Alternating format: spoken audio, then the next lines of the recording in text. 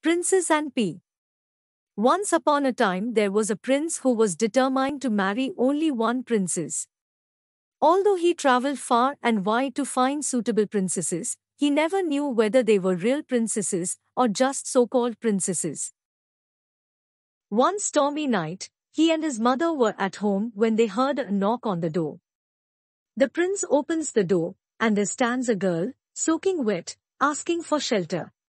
Her mother decided to test whether she was really a princess. He placed a pea under ten mattresses and asked the princess to sleep there.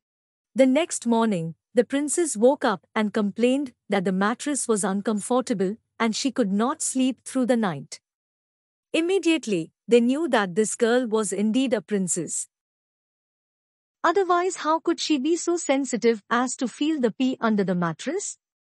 So, the prince and princess got married and lived happily ever after. Children can learn the value of out-of-the-box thinking, as only a creative mind with a clever test of peace can determine if a girl is really a princess.